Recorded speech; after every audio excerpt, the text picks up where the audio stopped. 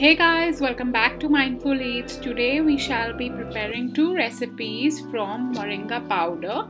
Uh, these are organic powders available easily in the market.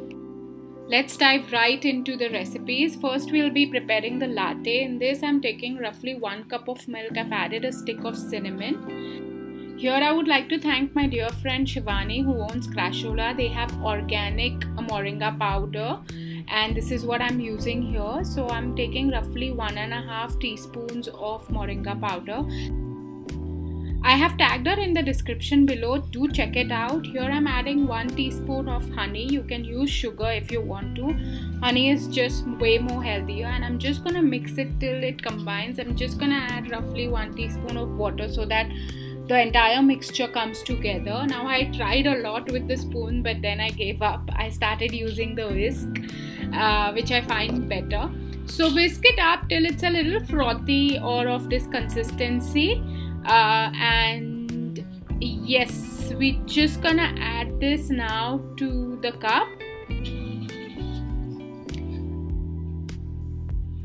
and we're gonna pour the milk right over now if you want it more frothy you can whisk it a bit more. Uh, I like it this way.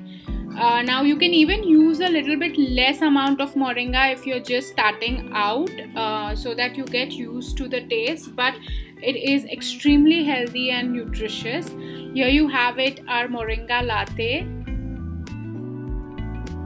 Do try it out and let me know how it turns out. Now before we dive into our next recipe let's see the benefits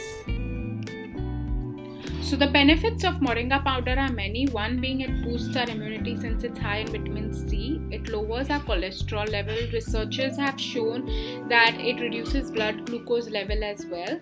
Uh, it is it has antioxidant properties so it is very good for our body to fight oxidation it reduces inflammation as well and not to forget it is high in potassium now moving on to our second recipe, we are preparing a moringa detox drink. Yet again, I'm using the moringa powder, roughly 1 teaspoon. I'm adding 1 teaspoon of honey to this.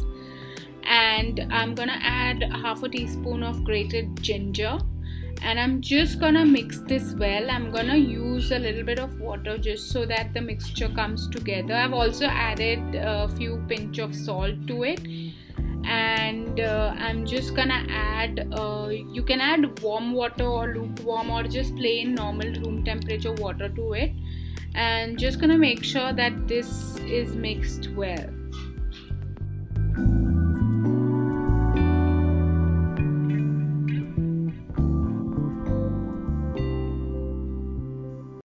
Now I'm just gonna add few cubes of ice I personally like it a bit cold especially when it is too hot.